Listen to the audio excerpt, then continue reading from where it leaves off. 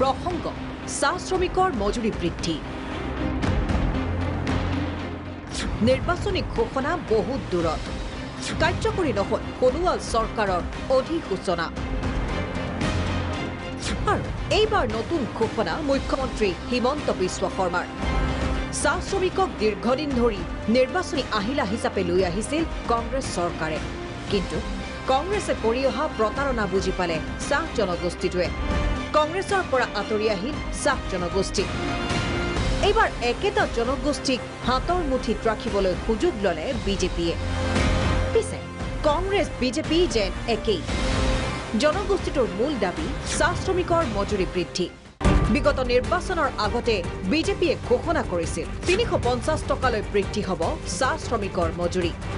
দিছপুৰৰ শাসন ভাৰ লৈ বিছ দিন পিছতেই শুকুৰবাৰে কেইবাটাও চাহ জনগোষ্ঠীৰ সংগঠনৰ সৈতে বহিল হিমন্ত বিশ্ব শৰ্মা চৰকাৰ।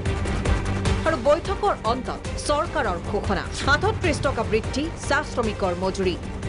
এশ সাতষষ্ঠিৰ পৰা দুশ পাঁচ টকা হ'ব শ্ৰমিকৰ দৈনিক মজুৰি। বৰ্তমান চাহ শ্ৰমিকসকলৰ মজুৰি যি এশ সাতষষ্ঠি টকা আছে তাৰ ভিতৰত এই মজুৰি বৃদ্ধি কৰি আমি দুশ পাঁচ টকালৈ লৈ যাবৰ কাৰণে আমি সিদ্ধান্ত গ্ৰহণ কৰিলোঁ। পিছে সঁচাকৈয়ে চৰকাৰৰ সিদ্ধান্ত চাহ শ্ৰমিকে বিশ্বাস কৰিবনে? বৃদ্ধি হ'বনে শ্ৰমিকৰ মজুৰি? চাহ শ্ৰমিকৰ মজুৰি বৃদ্ধি কৰাৰ ঘোষণা যেন এটা নিয়মত পৰিণত হৈছে বিজেপি চৰকাৰৰ বাবে। পূৰ্বৰ সোণোৱাল চৰকাৰৰ শেষৰখন কেবিনেটত ঘোষণা কৰিছিল পঞ্চাছ টকা বৃদ্ধি কৰা হ'ব চাহ শ্ৰমিকৰ মজুৰি। কিন্তু এক কাৰ্যকাৰী নহ'ল। এইবাৰ নতুন চৰকাৰৰ ঘোষণা কৰিছে আঠত্ৰিছ টকা বৃদ্ধি কৰা হ'ব চাহ শ্ৰমিকৰ মজুৰি।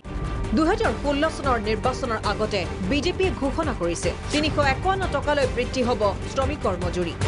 দুহেজাৰ ষোল্লত দিছপুৰত সৰ্বানন্দ সোণোৱালৰ নেতৃত্বত বিজেপি চৰকাৰ হ'ল।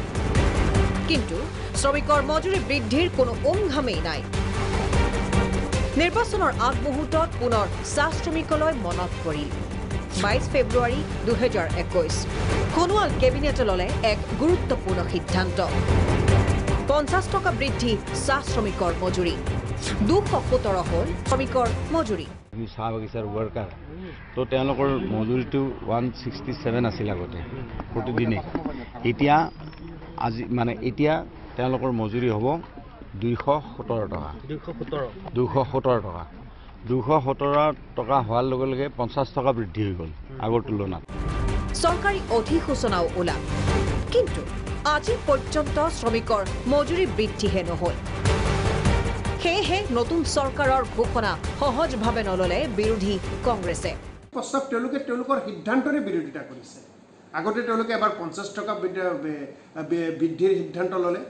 আকৌ নতুন চৰকাৰখনে আহি আঠত্ৰিছ টকাৰ সিদ্ধান্ত ল'লে।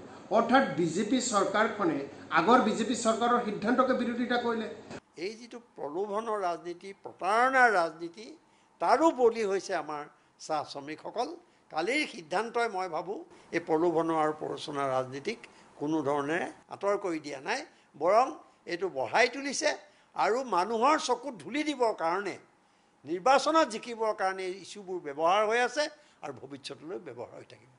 লক্ষণীয়ভাৱে পূৰ্বৰ সোণোৱাল চৰকাৰে পঞ্চাছ টকা বৃদ্ধি কৰাত মজুৰি হৈছিল দৈনিক দুশ সোতৰ টকা। কিন্তু একেই দলৰ বৰ্তমানৰ চৰকাৰে আঠত্ৰিছ টকা বৃদ্ধি কৰাত মজুৰি হ'লগৈ দুশ পাঁচ টকাহে। অৰ্থাৎ সোণোৱাল চৰকাৰতকৈ বৃদ্ধি হোৱাৰ পৰিৱৰ্তে বাৰ টকা কমিলহে। পিছে পূৰ্বৰ চৰকাৰৰ দৰে বৰ্তমানৰ চৰকাৰেও চাহ শ্ৰমিকক ৰামঠগত নিদিয়েতো। তাকে লৈও এতিয়া চিন্তিত চাহ শ্ৰমিকসকল ভিডিঅ' জাৰ্নেলিষ্ট ৰিজুৰ সহযোগত ৰমেন কলিতা আৰু ৰুবুল গগৈৰ ৰিপৰ্ট প্ৰাগ নিউজ